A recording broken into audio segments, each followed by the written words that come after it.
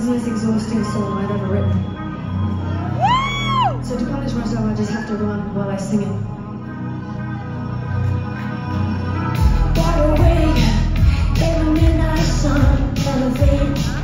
For the brand new drug. I wanna taste, wanna dry my tears, then